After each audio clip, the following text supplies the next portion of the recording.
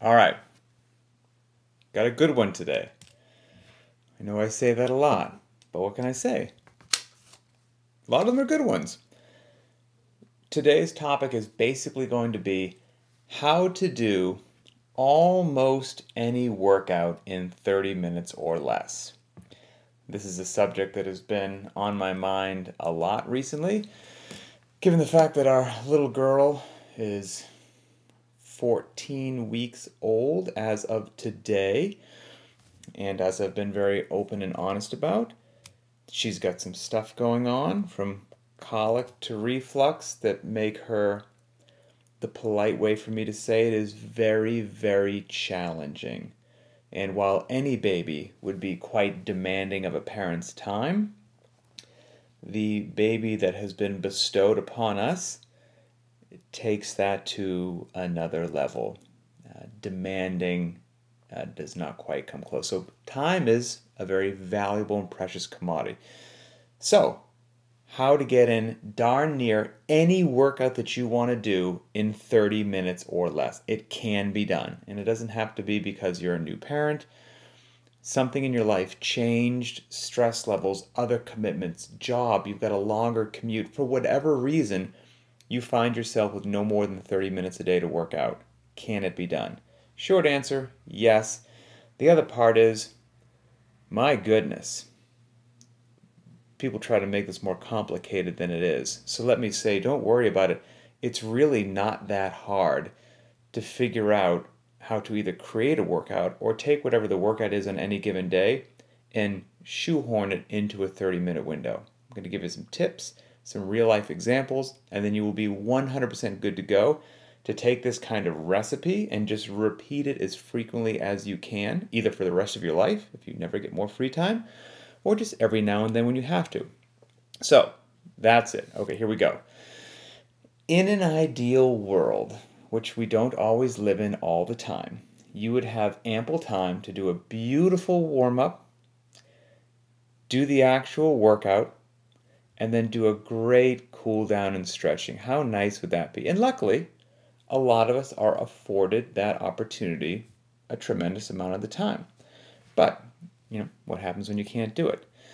So, um, the first thing you may or may not realize is just if you were really honest with yourself, how much potentially you just dilly dally when you walk out into the garage or your living room or the gym or wherever to actually warm up and work out. I'm acutely aware of this because, as it turns out, I tend to dilly dally get lost in my thoughts or pick up my phone or whatnot during the warm up. So, a warm up that takes me 15 minutes somehow takes my wife seven to 10 minutes. And she's like, let's go. What's, what are you still doing? How, how is this taking you this long?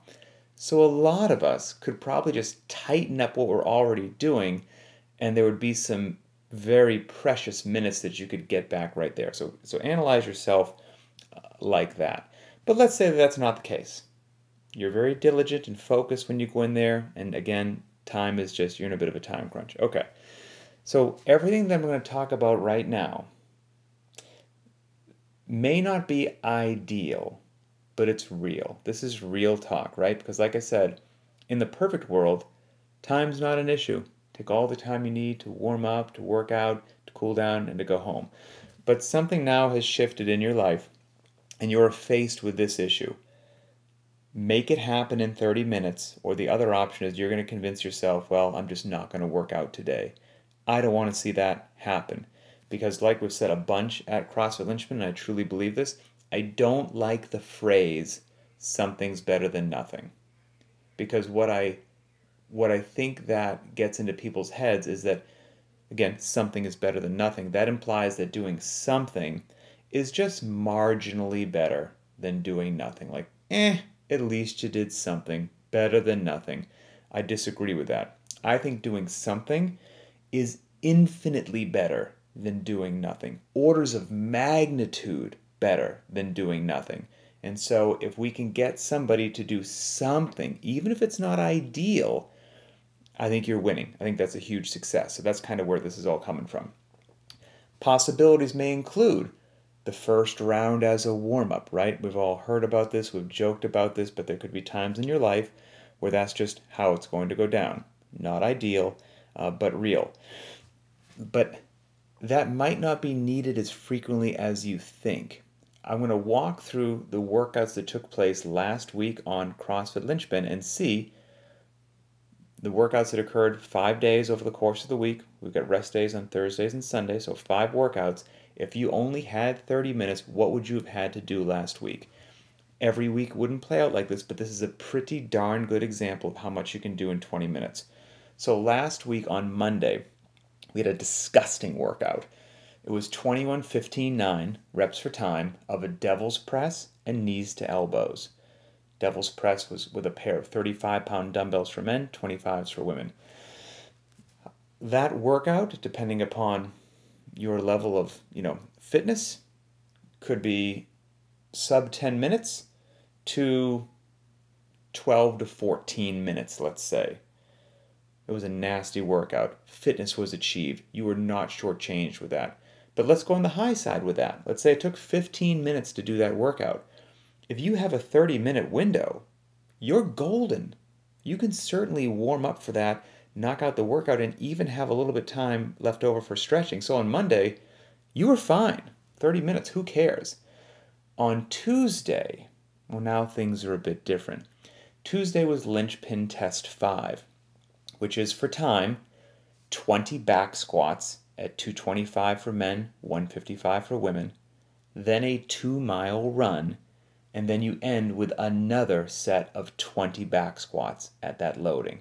That's a long workout, and not only is it a long workout, but you need to warm up to do a bunch of reps at that squat loading. So there's a fair amount of warming up involved for most people, also. And that workout, depending upon where you fall with your fitness level, if you smashed it out of the park, you did it around 20 minutes, which is crazy. But a tremendous amount of people is going to take you 30 minutes to do that workout. So, well, you can't walk into the gym and do a 30 minute workout because you haven't even warmed up for that squat loading yet. So, that doesn't make any sense. Well, if for most people that's a 30 minute workout, we could just simply reduce it by a third or reduce it by a half. And now, instead of starting off with 20 back squats, maybe it's, it's a set of 10 instead of the 20 instead of the two mile run, a one mile run, and then you end with another set of 10 back squats. So we have reduced the volume by 50% and most likely reduced the time significantly that it would take to knock out that workout. And again, if we're talking about you doing something or you doing nothing, do you think you're going to be shortchanged with 10 back squats at that loading, a one mile run, and then another 10 back squats in that loading, when the other option was, ah, screw it, I'm just going to sit on the couch? Absolutely not. Huge victory. You crushed it. Good to go. So, we can do things like that, make that happen. Just figure out what the actual time would be, reduce it in half. You're solid. And that's a long day's worth of training, but we can make it work. Maybe it's just going to take you too long to work up to that loading 225 for men and 155 for women. Here's some things that some other people have to get into their head that if you don't do some workout, some aspect of the workout, if you modify some aspect, that that workout no longer has value because you've changed it. That's toxic. Get that out of your head. Maybe it's going to take you, let's speak for the gentleman, too long to warm up to a 225 back squat, but you can warm up to a 155 or a 185. Who cares? do the workout at 155 or do the workout at 185 because again let's get back to the main point here. You're squatting with a barbell on your back and then going for a run and then squatting some more. So okay the loading was a bit less than the quote unquote prescribed whoop-de-doo. You got in a workout. You put some fitness in the bank that day. Mission accomplished the next day wednesday on linchpin was a 30 minute emom Minute 1 was 6 bar muscle ups. Minute 2, 20 GHD sit ups. Minute 3 was rest. It was one of my favorite minutes. Then minute 4, 10 strict ring dips. Minute 5, 50 double unders. And minute 6, rest. Okay, that's 30 minutes. I'm acutely aware of how this one went because I, on this particular day, due to our young daughter that was, she was quite needy that day, I walked out into the gym with 30 minutes to make this happen.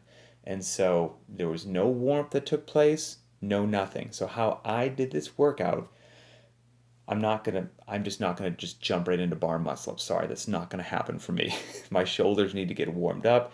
That's not the athlete that I am. So what I replaced this with was each minute for me, um, when the six bar muscle ups should have taken place, I did 10 strict pull ups. Now that worked for me. Maybe for you, it would have been 10 strict pull ups also. Maybe it would have been eight. Maybe it would have been six. Maybe it would have been ring rows at whatever level of difficulty makes sense for you for 10 repetitions. I bumped it up to 10 strict because there's such a big range of motion on six bar muscle ups that I just didn't want to do six strict pull ups. So I bumped it up to 10. Fitness was achieved. I did not feel shortchanged. Uh, I've got a decent tolerance for GHD sit ups, so I had no problem minute two just starting to do GHD sit ups. But if you weren't there and that much GHD sit up volume would be no good for you, just plop your butt on the floor and do regular sit ups. Who cares? You're doing sit ups. You're good to go. Fitness was achieved. Minute three was rest. On minute four, 10 strict ring dips it just my pecs weren't warmed up and everything, so I didn't feel good just jumping into 10 strict ring dips that very first minute. So I just did some push-ups in that minute and I did some static holds at the top of the ring and some static holds at the bottom and I did a couple like jumping ring dips. I just moved for that minute to start to use it as a warm-up and didn't worry about, you know, what should have happened in that minute. The next minute, double unders were uh, programmed and then the final minute was rest. Again, that's six minutes. It's a 30 minute EMOM, so you're going to cycle through that five times. And so that's just how I did that. Stuck with the strict pull ups. I stuck personally with the GHD sit ups. I rested in the rest minutes. By the time that the second iteration came around, I could do the strict ring dips. Good to go. I was in and out in 30 minutes. There was no warm up, there was no cool down. That's just what life dictated that day. Thursday was a rest day, a glorious rest day. On Friday, the linchpin workout of the day was one of the linchpin tests, linchpin test 14, which prescribed is it's like grace with the air bike. It's disgusting, but beautiful. For time, 15 clean and jerks at, ni- at 135 or 95, 30 calories in the air bike for men, 20 for women, and then 15 more clean and jerks, 135 for men, 95 pounds for women blazing fast on that workout, like it's a wheelhouse workout for you and you crushed it, is in the area of five minutes. Uh, a lot of people, it could take anywhere from seven to nine minutes ish, okay? Maybe even pushing 10 minutes. So, ballpark, once again, you're telling me you've got 30 minutes to work out? That's a 10 minute or less workout. So, you are going to be able to warm up completely, actually, hit that workout with all your heart and soul, and you'll have time to stretch, cool down, and go home. Easy day. Then on Saturday, we had three three minute AMRAPs. That's a tongue twister. Three three minute AMRAPs. And to in, keep the tongue twister going, between each three minute AMRAP, you took three minutes of rest. So I'll do the math for you. Three three minute AMRAPs is a total of nine minutes of work. Three minutes of rest between is an additional six minutes. And so that's 15 minutes that workout is going to take. And that was, uh, the AMRAPs were comprised of wall ball shots and chest to bar pull ups. Disgusting, Fran ish kind of a thing. So that's going to take 15 minutes, including the rest periods. If you've got a 30 minute window, that gives you 15 minutes to warm up to do a wall ball and a chest to bar pull up. That is extremely reasonable. So, again, even with a 30 minute window, if you didn't dilly dally, you're going to be good to go. Now, you know, one of the examples that I had in there was a longer workout. That was Tuesday's workout, Linchpin Test 5. We discussed how we would uh, chop that up. But as a general as a general guideline, let's just talk about another couple workouts and how you could make them happen. Let's say the workout of the day was Murph, the classic hero workout Murph. One mile of running. 100 pull ups, 200 push ups, 300 air squats, and then another one mile of running, all in a weight vest. It is not uncommon for Murph to take people an hour. Well, that's not going to work in a 30 minute window, right? But let's let's think about this for a sec. Okay. Murph can take an hour. We've got 30 minutes. I'd like to have maybe a bit of a warm up, a bit of a cool down, whatever. So I want Murph to only take me 20 minutes. I can only give Murph 20 minutes of my life today. Well, if it takes an hour generally, some quick math tells us that 20 minutes is a third of that. So let's do not even a half Murph, let's do a third Murph. Now, this is not exact, right? Because there's 100 pull ups. So uh, a third of that is 33.3 pull ups. We're not doing 0.3. So we're going to get close to a third of Murph. And that would be roughly 1,200 meters of running total instead of two miles now 1,200 meters total, 33 pull ups, 66 push ups, and 100 air squats. Another way to think about that is the work in Murph, the 100 pull ups, 200 push ups, 300 air squats, is 20 rounds of Cindy. Okay? So let's just say if a full Murph is 20 rounds of Cindy, well, for our third, we're going to do seven rounds of Cindy.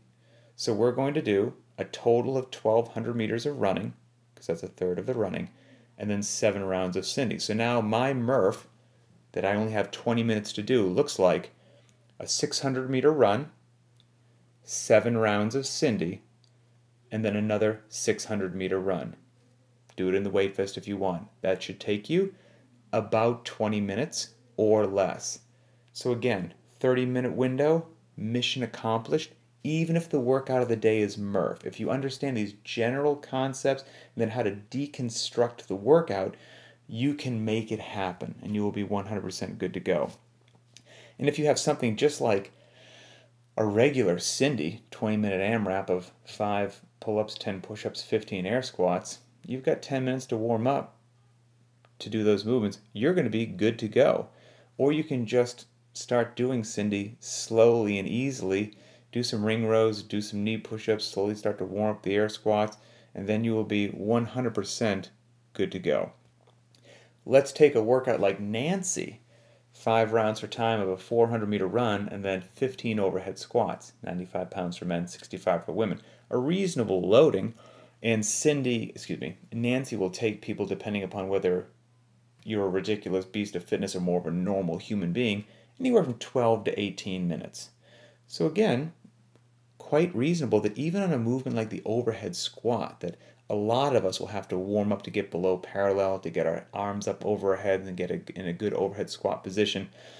If Cindy, even on the longer, I mean, Nancy on the longer side takes, let's say, about 18 minutes, that's still giving you 12 minutes out of a 30 minute window to warm up, to start jogging, and to do an overhead squat at 95 or 65 pounds.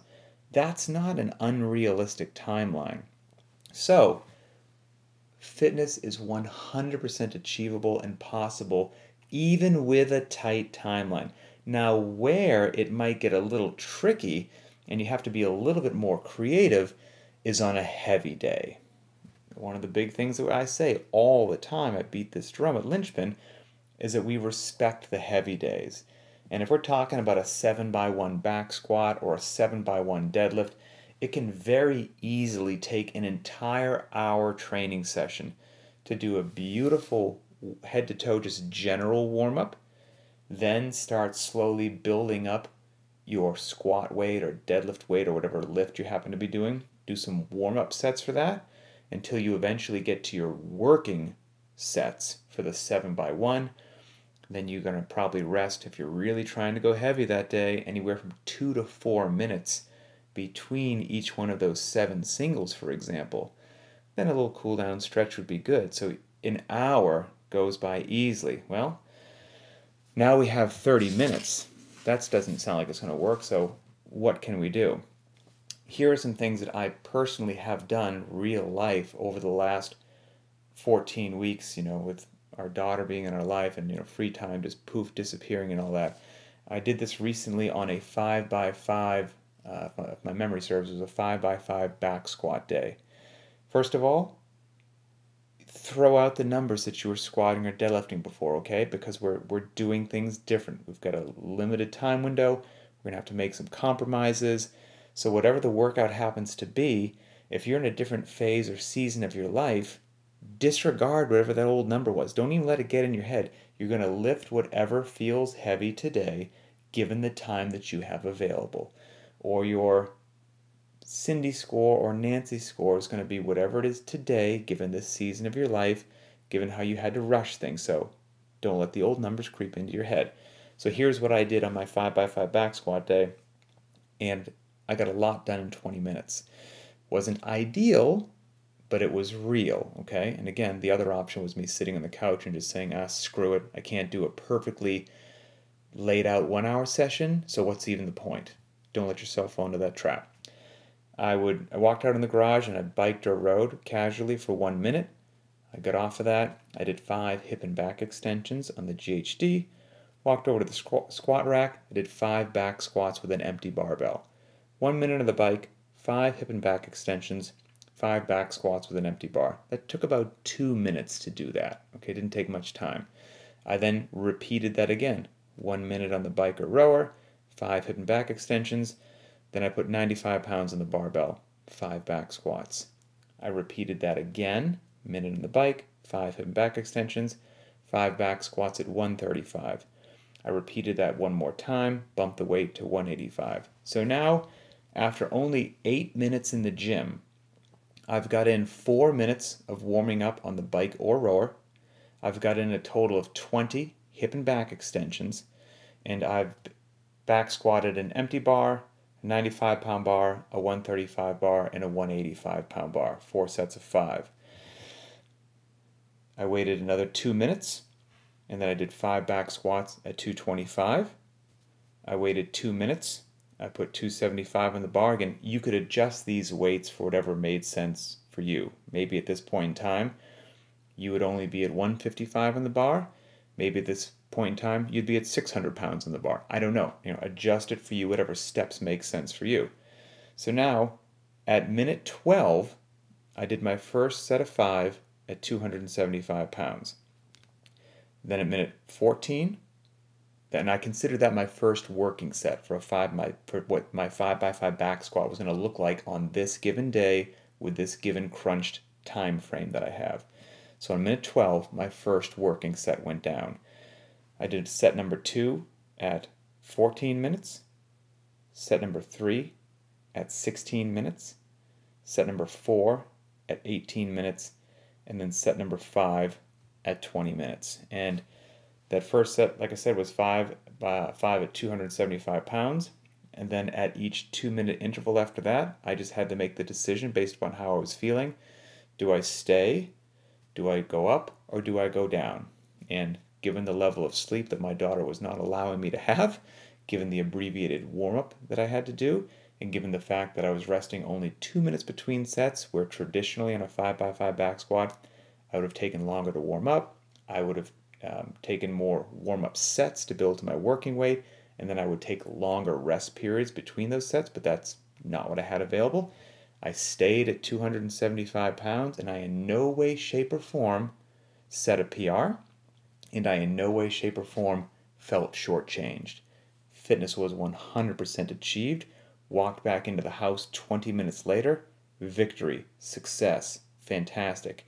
And you can play that same game with snatching, clean and jerking, deadlifting, back squat, whatever it happens to be. There's a way that you can look at the time that you have available and then reverse engineer um, a warm up and an increase that makes sense even on a heavy day. The other thing, which has been a huge benefit on heavy days, is the limited equipment option on the Linchpin private track. So even on heavy days, we create a heavy day for people that just have access to dumbbells, generally considering a pair of 50 pound dumbbells for men, a pair of 35 pound dumbbells for women. Dumbbells are a beast and you will not be shortchanged. And generally speaking, you know, if I was going to do this squat day, this heavy day that was prescribed, and if I didn't choose the barbell, I chose to do it with dumbbells, well, now I had to warm up on this day to a 275 pound back squat. It's going to take me longer to warm up my body to move 275 pounds than it's going to take my body to be able to move two 50 pound dumbbells. Even though they're undoubtedly challenging, it's still only a grand total of 100 pounds. So I'm going to be ready to move those with some degree of intensity faster than I was ready to move and get to that working weight on the back squat. So if time is an issue, choosing the limited equipment option, the dumbbell option, will not shortchange you, will dramatically improve your strength and fitness, and gets a lot of work done in a shorter period of time, and it is fantastic. So, kind of in closing, whatever you've got going on, if you find yourself with a a limited amount of time for whatever reason, doesn't have to be a newborn baby, right? Work changed, your commute changed, you started going back to night school. I don't know what it is, but now you have less time. You've only got 30 minutes a day. You can stay in tremendous shape. And not only tremendous shape, potentially even continue to improve. Okay, get that out of your head that you're just, ah, it's all gone. And it's not as complicated as some people would have you believe to figure out some super fancy way to work out in a short period of time. With a basic understanding of what you're trying to accomplish, you're good to go. So that's it. Hopefully, everybody found that valuable and enjoy today's workout.